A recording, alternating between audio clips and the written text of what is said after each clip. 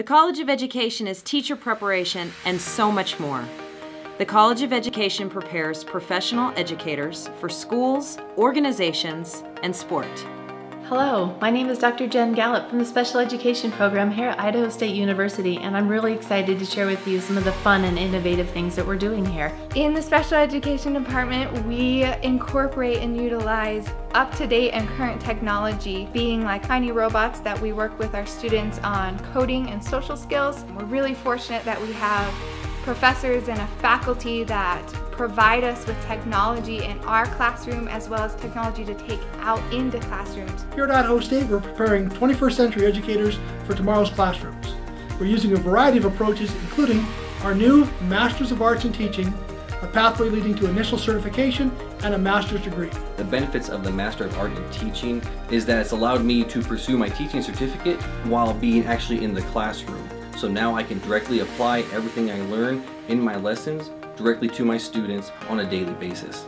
Here within the Department of Sports Science and Physical Education, we take a very comprehensive approach. They help us prepare for any sort of medical field that we would want to go into, such as athletic training, physician assistant, or even physical therapy. I've been able to learn all about the human body, its anatomy, its physiology, and how it works in response to exercise. This program prepares me for my professional career by giving me the opportunity to prepare for my career as a physician assistant or even any medical field. Hi, I'm Rob Leon. I'm a professor in the Bachelor's of Workplace Training and Leadership here at ISU. Um, our program works to prepare people to be independent thinkers and effective leaders in the workplace.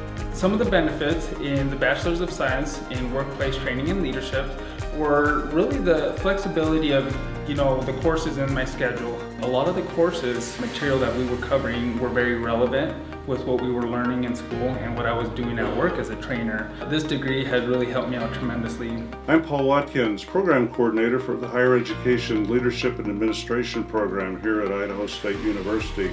We prepare individuals to become the future leaders of higher education. Some of the experiences that I have had in the EDD program for higher education administration and leadership have been assignments that have been geared towards really helping me understand a lot of the issues that are faced across the university. EDD in higher education and administration leadership has prepared me well for my current role. I serve as a business officer for Idaho State University, so the exposure to faculty concerns and budget issues were primarily of importance to me.